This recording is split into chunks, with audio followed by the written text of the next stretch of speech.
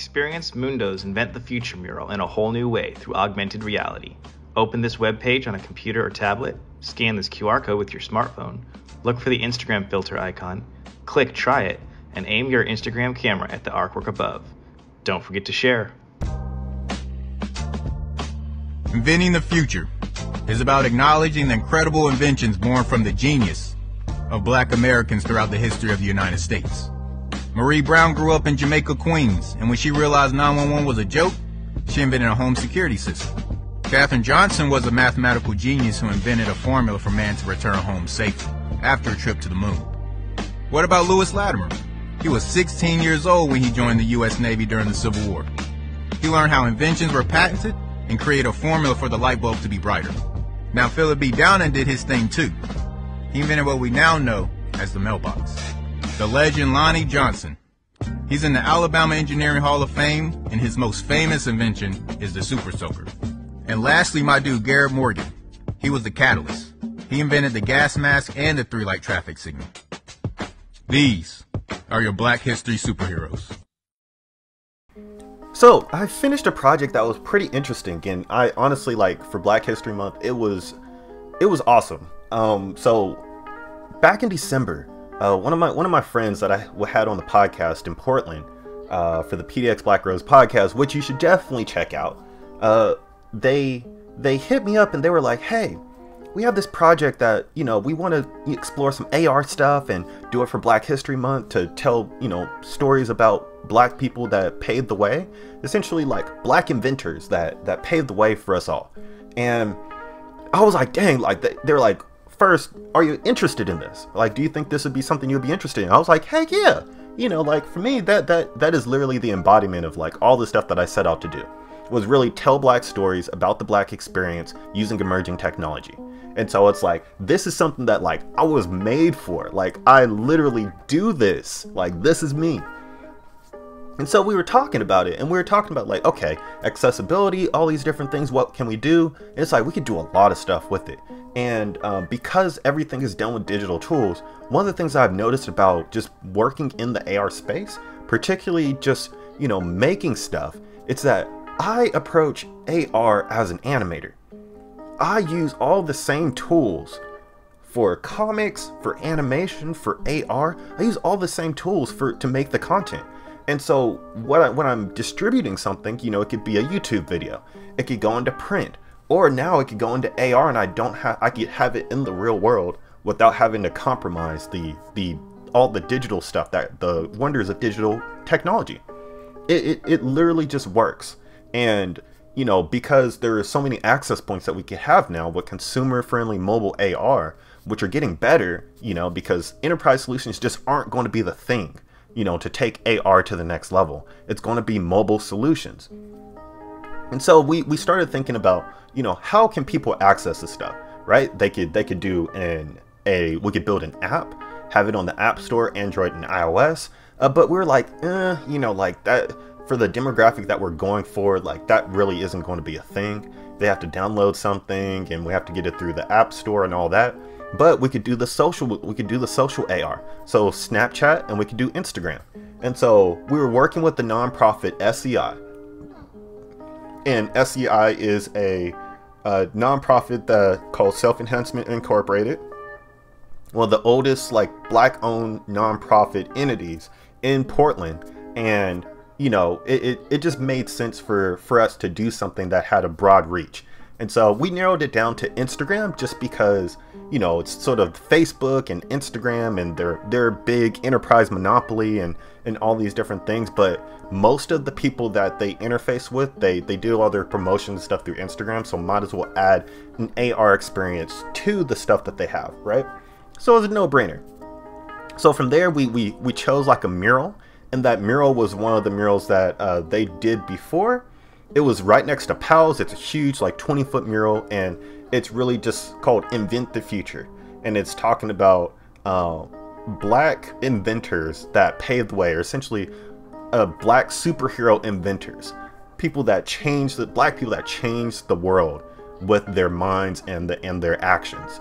And so I was like, bam, you know, superheroes. I started the Black Superheroes Matter project, right? So superheroes, AR, telling stories about black experiences. Perfect. And so then it was like, okay, we're going to go with Instagram.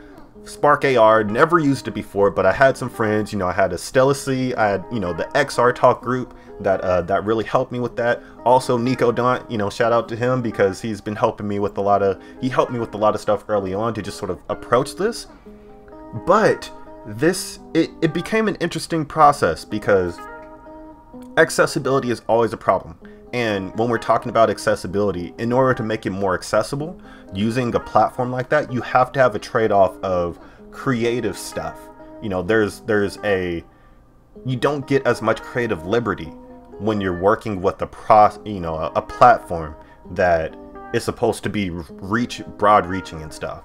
And so, uh, one of the things that like really happened that I didn't anticipate was that yes, you know, learning the tools and everything for it was great, right? Like I'm working on Spark AR. If we're looking at if we're looking at the actual Spark AR features, right?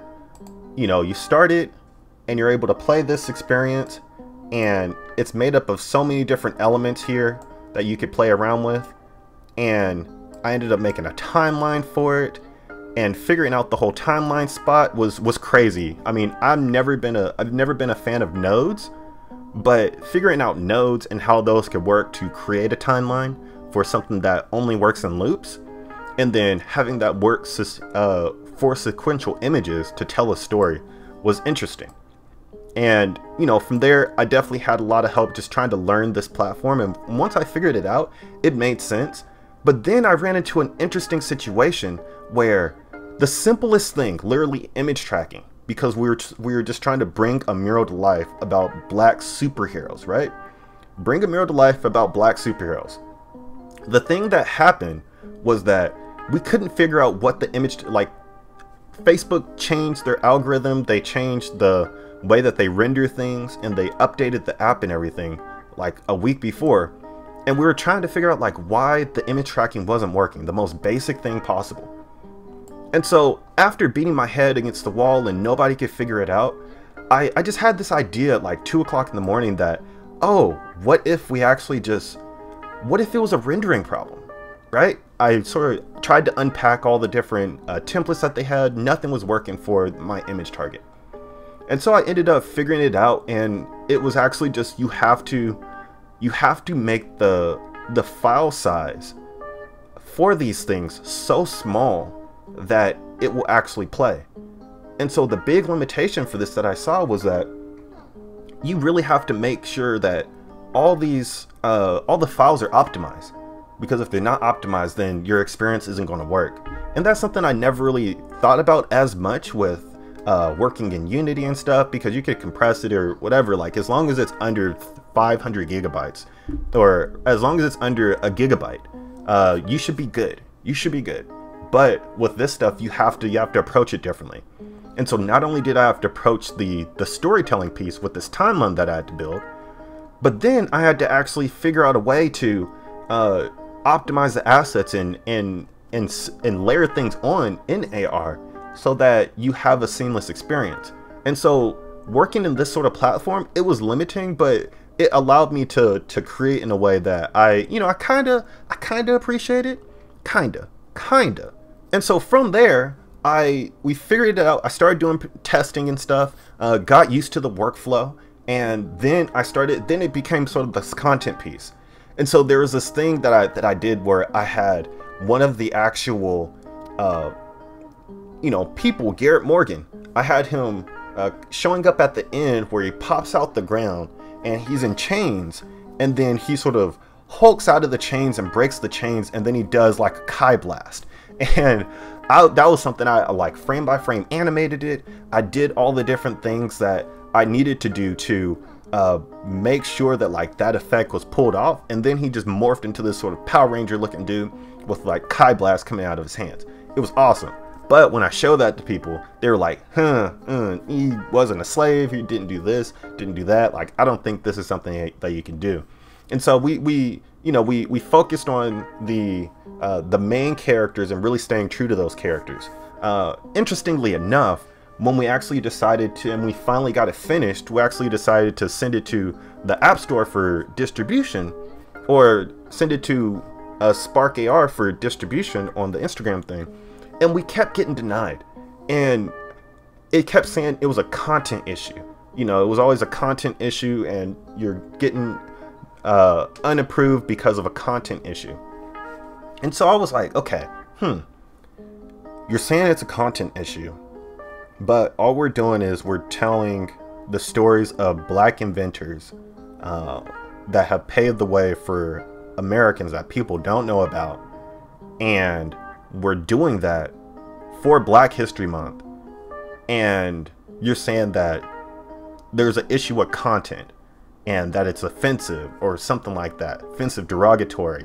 And I I had I felt some type of way about that because for the year that we had in 2020 and then for us to have a project that's wholesome, it's educational, it's all those different things and for that that response to be the rejection for a, for a platform that's supposed to be championing you know black creators and black creativity and making it more inclusive for for us to express ourselves I, I i felt some type of way about that. And and more importantly it didn't it didn't explain or clarify like what they actually meant.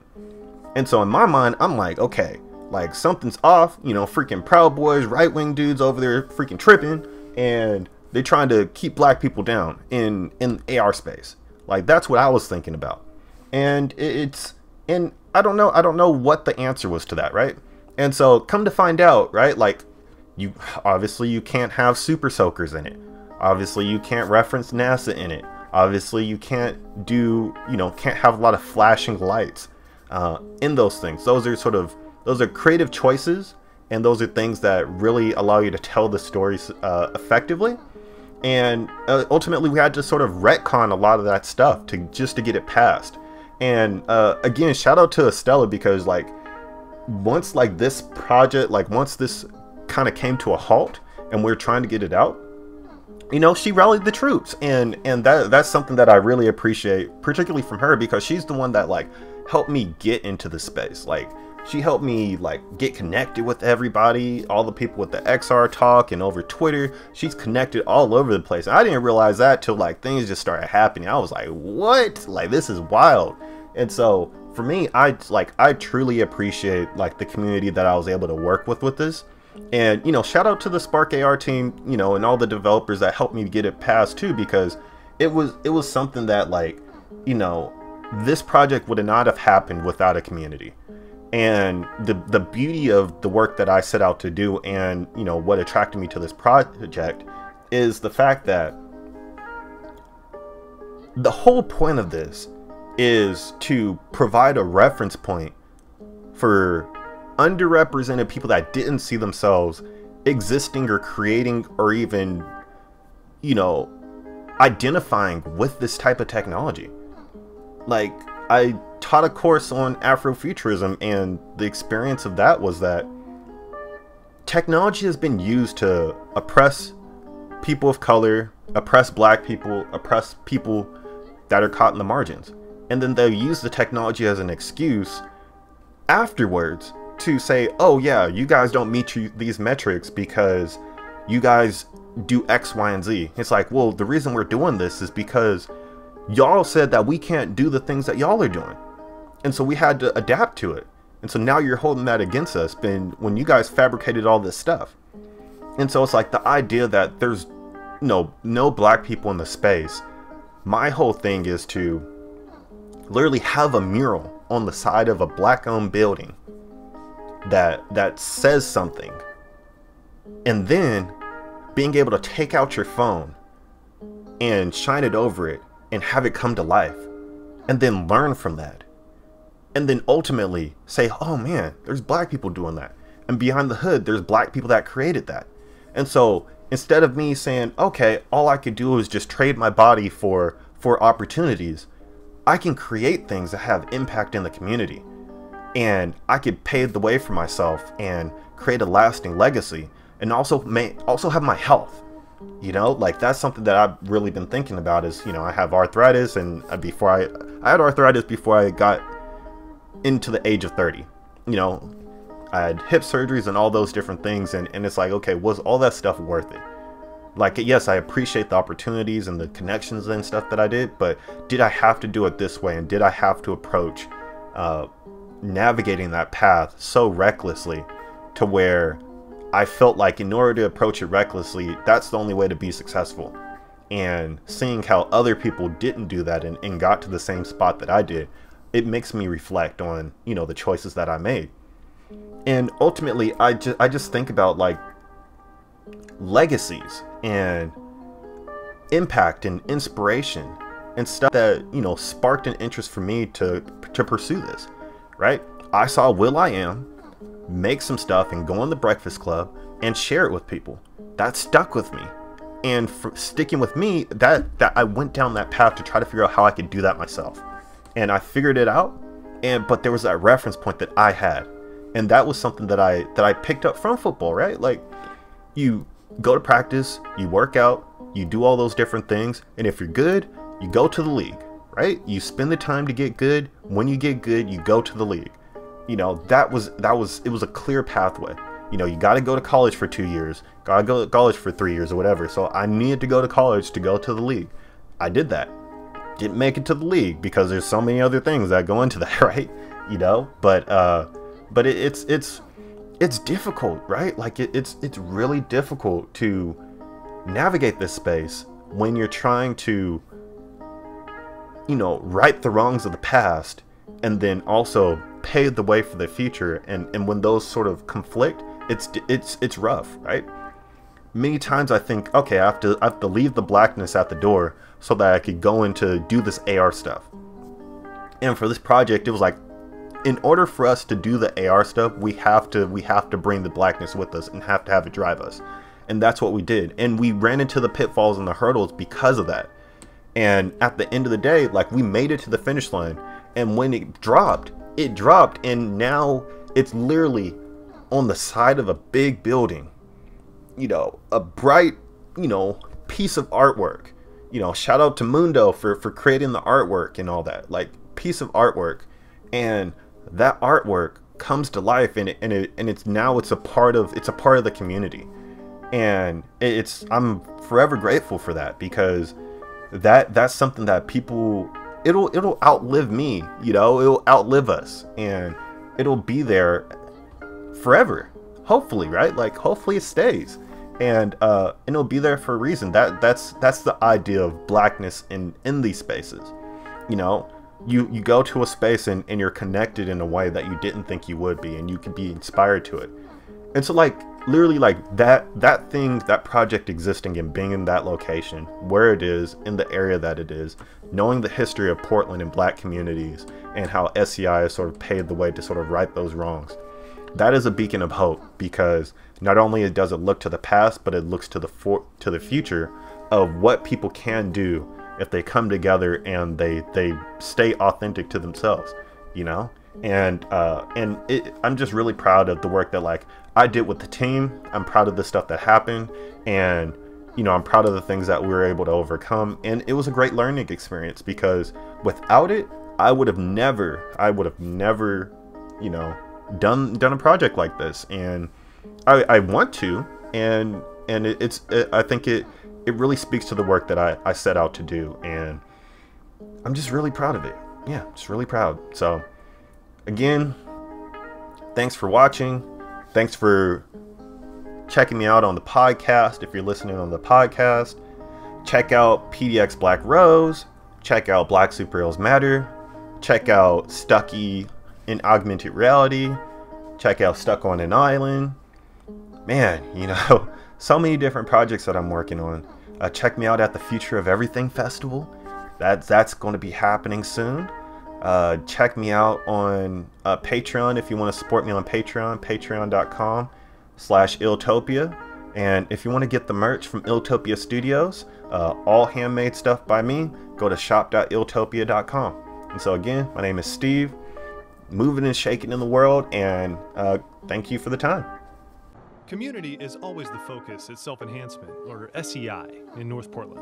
We wanted to create opportunities for black vendors to come and sell their goods and be in front of the community again. In February, the emphasis is on Black History Month. This Saturday, just like last weekend, SEI will hold an outdoor market in the parking lot. Live music, food, precautions, and a place for black owned businesses to get some exposure. Ebeth Hernandez is SEI's special events specialist. We actually also have on our website a black business directory, and you can support them by purchasing online directly from those vendors if you are unable to come to the market. Produce Portland is one of the vendors. And especially during COVID, without any events really going on, these kind of marketplaces help a lot just because most young entrepreneurs, the only place they can sell their product is at events or pop ups. Along with the support for businesses, they've unveiled a project meant to inspire. I know I didn't like history when I was in school, and I wonder why, and it's not because um, it's because I didn't learn the things about like the people that uh, relate to me. We're talking about highlighting black inventors that innovated during their time. And so, what better way to pay homage to them than to innovate with storytelling? Local artists Edmund Holmes and Steven Christian were part of the team behind a comic book style mural called Invent the Future. It's a tribute to black inventors and their contributions, but it's not just a mural. It was really being able to bring the mural to life with animation, with sound, uh, and really uh, enhancing the experience that you would have with the mural with digital technology. With an Instagram filter, augmented reality brings the pictures to life. What about Lewis Latimer? It's important that we tell the right history and we celebrate the people who should be celebrated because they're often left out of history books. They're not taught about in schools. And so just being able to come up with an idea from your imagination, pursue it, and then have that manifest and inspire others. I mean, that, that's just what Invent the Future means. Is like we're literally creating the future that we want to see in the world. For these guys, for these businesses, the hope is to foster the conversation through art and through community to motivate the next generation of history makers. That every child has a gift. And so if we can, through our gifts, expose students to something new that they've never tried before and help them find their gifts, we will have accomplished what we set out to do. Yo, yo, yo, this is Steve from Stuck on an Eyeland. I definitely appreciate you taking the time to check out my work. Follow me on all the social nets. Be sure to check out my studio, Iltopia, on all the other platforms. And if you want to get some merch, check out shop.iltopia.com.